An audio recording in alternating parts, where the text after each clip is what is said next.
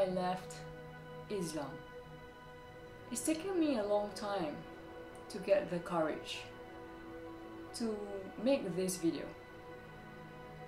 And I'll admit that I'm afraid there will be real consequences in my life after I publish this. Apostate, a person who leaves a religion, in this case Islam, put themselves at terrible risk. In many parts of the world, it is extremely dangerous for an individual to leave Islam. Consequences for doing so can result in banishment, imprisonment, extreme violence, and even death. The violent execution is often carried out by those closest to the victim. They include, but are not limited to, beheading, being thrown from rooftops, or even stoning.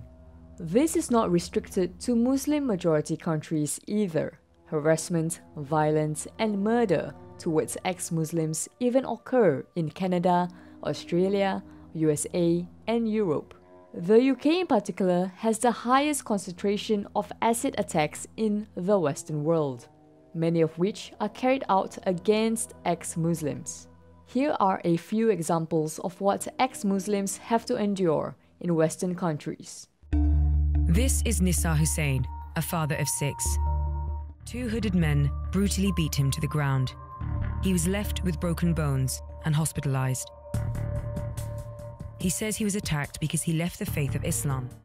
There was every adult male in my immediate family and a religious leader sitting in the center. It was my decision to, to leave the religion. And before I knew it, fists were connecting to my face. I was being hit all over. Like your dad or your brother will do if they find out you're an atheist. Kill me, maybe.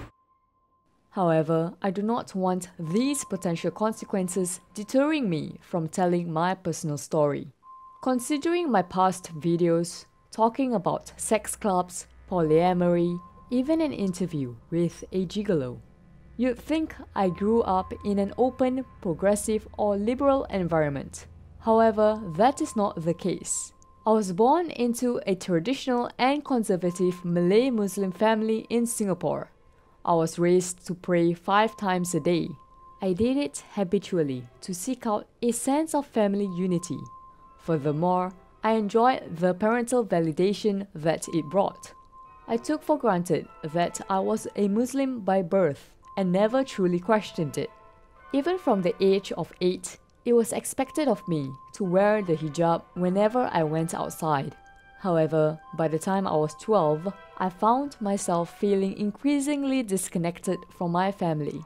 I wasn't able to have any sort of philosophical discussions that did not eventually lead to Islam.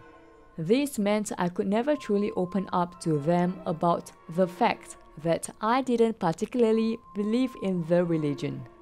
It never occurred to me while growing up that living Islam was an option. Even at 18, I wasn't aware that there was such a thing as an ex Muslim. Was being secular more in tune with who I am? I wanted to know what else life had to offer. I explored this question at 19 by sneakily going out without my hijab, attending music festivals, and living almost as freely as I wanted, all while still keeping up appearances at home in front of my family. In my pursuit to find my own path, I learned more about Islam and how it did not coincide with my personal ideals. Ultimately, I came to the conclusion that my life would be severely restricted if I continued living as a practicing Muslim. I was shocked to discover that I was not alone. There are millions of other ex Muslims all over the world. The vast majority of them conceal their apostasy out of fear of persecution by the Islamic community. Ex Muslims suffering verbal and physical abuse, being shunned by their immediate family, is commonplace. A 2010 Pew Research Center survey showed that Muslims in Egypt, Jordan, Pakistan, and Nigeria would favor a death penalty for those who leave the religion. I reached out to several ex Muslim activists such as Yasmine Mohammed, Sarah Haider, Abdullah Sameer, and Zara Kay. Furthermore, I joined the Council of Ex Muslims of Britain as well as posted my questions on the RX Muslim subreddit. Hardly any ex Muslims replied to my inquiries. Most who did simply stated that they were still closeted about their apostasy. Very few were willing to go into depth about the subject. Furthermore, despite my best efforts, I have yet to find any recent statistics on ex Muslims online. Thankfully, I was living in Singapore, where violence is not openly tolerated and where there are no apostasy laws in place. Still, my life would have been a lot easier had I chosen to remain as a closeted ex Muslim. The only problem was I was tired of lying to myself and others. I fully expected that once I announced my apostasy, my family would throw me out. Thus, I saved up money for an entire year so that I'd have a safety net to fall on should the worst occur. When I was ready, I used a PowerPoint presentation to explain to my entire family why I was leaving Islam. Some of them were brought to tears by my decision. The next few months were extremely difficult. While my family did not evict me, they did treat me like a stranger in my own home, which was in many ways worse. Meanwhile, my mother kept suggesting that I meet a religious figure who she believed could persuade me to rejoin Islam. I refused because I wanted something different out of life. I spent a lot of time trying to figure out what I was going to do now that I'd been shunned by my family. I made the decision to start traveling with friends then on my own. I visited Japan, Indonesia, Thailand, Hong Kong, Macau, and Laos. While traveling, I discovered that I did not have to stay in Singapore where I'd face constant disapproval from my family. I could build a new home for myself. So I decided to move to Bangkok, then Europe, and have kept traveling ever since. I do try to contact my family from time to time, but am either ignored, met with hostility, or pressured to return to Islam. I wish they would be willing to talk to me without it spiraling into how I should return to Islam.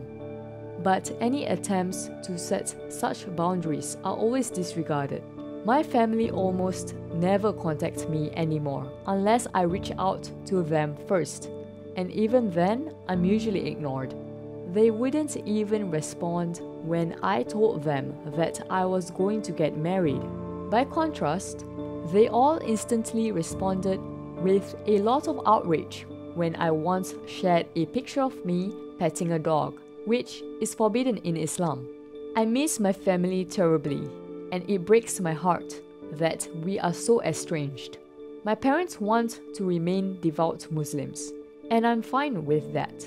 Furthermore, I fully understand why my decision to leave Islam was a huge shock to them. However, their unwillingness to accept me as I am has created a huge division between us, which I fear might never be mended. I love making videos, and I'm not planning on stopping anytime soon. However, considering my circumstances, I need to take a small break in order to prioritize my safety. I truly appreciate your continued support. It means a lot to me. If everything works out, I'll be back soon.